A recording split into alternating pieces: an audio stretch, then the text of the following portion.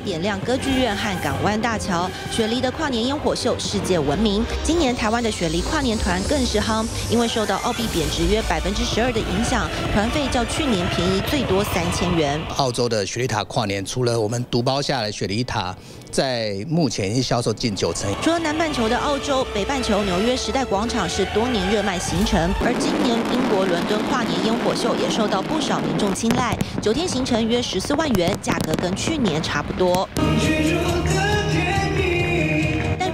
这么长的假期，临近的日本也是不少人的首选。像是由旅行社包装迪士尼乐园跨年行程，虽然比去年贵了三到五千元，但还是在两个月前就卖完。日本跨年，尤其是东京，我觉得就是最近虽然汇率有一点上涨，但是去日本买东西还是很划算。在假期的部分来说，呃，会比较短，所以想说在国内为主。的确，如果假期跟预算都有限的话，国旅也有热门景点可以参考，像是阿里山看二零一六年的第一道曙光，行程就很抢手。